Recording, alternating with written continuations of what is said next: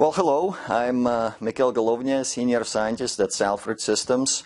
Uh, what I'm going to show in the next uh, couple of videos is how easy it is to use Salford predictive modeling in a modern banking application.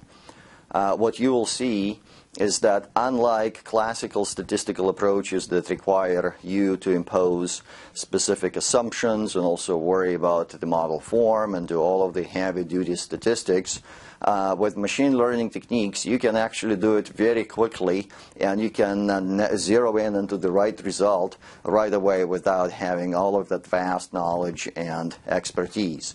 The level of these videos is going to be somewhat uh, beginner, so if you're looking for something a lot more advanced, we have plenty of those. Okay, so let me get started. And what I have is uh, a typical banking data set I have it opened in an Excel spreadsheet.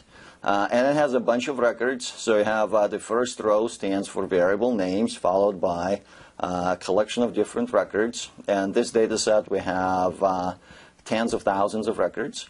And it has to do with uh, describing accounts as either being delinquent or good. So the goal of modeling here is to find uh, certain ways to predict what drives the account going delinquent on what's associated with it. And I have selected a number of key variables that might be of use. Uh, revolving utilization on the account, uh, age of the account holder, debt ratio for that account holder, monthly income in uh, dollars, the number of uh, open credit lines, and this is actually a mixture of both uh, consumer and business accounts.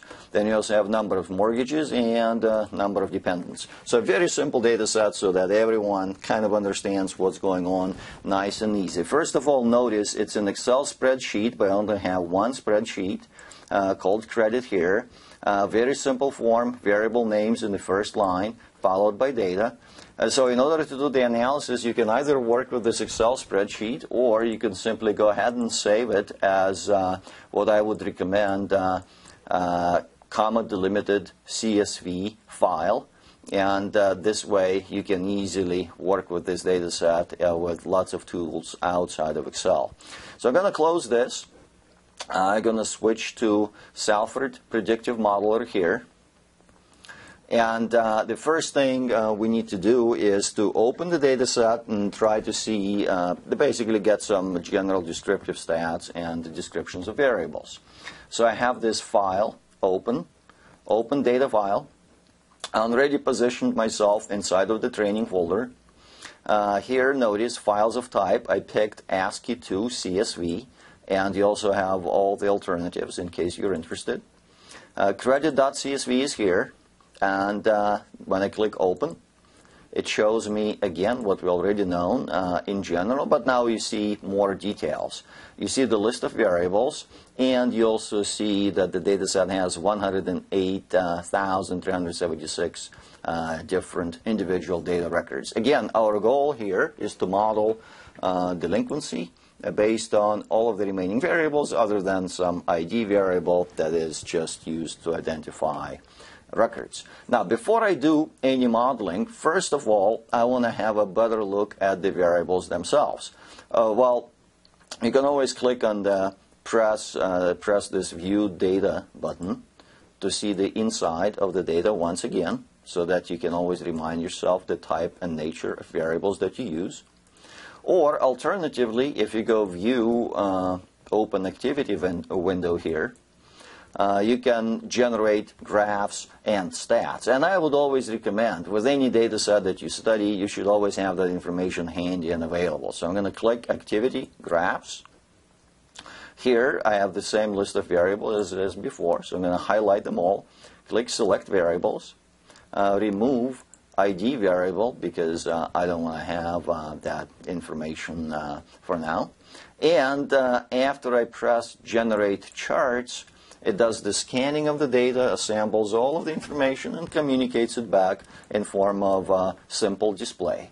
Now, what you have here is a collection of uh, histograms describing uh, every variable of interest. So, for example, age here is nicely distributed with the mean or median or between 40 and 60.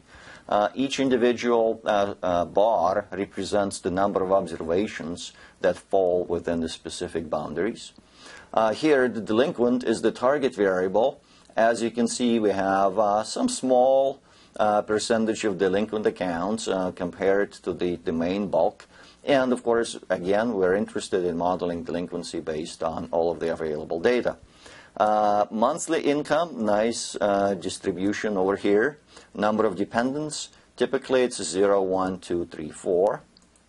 And uh, as far as number of mortgages goes, you have 0 to 4 up to 6, and the number of open lines varies between those numbers. So keep that information handy because it's useful to have uh, all of those descriptions uh, for your records.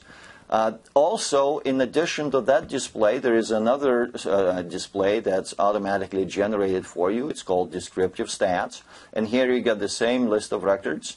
And you can also see some simple measures like min, max, percentiles, numbers, distinct levels, percent missing values, and number of missing values, and so on and so forth. If you're not, uh, if you are interested in gathering more information, you can always switch to full display and study all of those individual variables in numeric form, uh, one at a time. Okay, so that's the data setup. That's the uh, banking, uh, typical banking situation that uh, many of you might experience. And now let's see how we can model it, which will be the subject of the next video.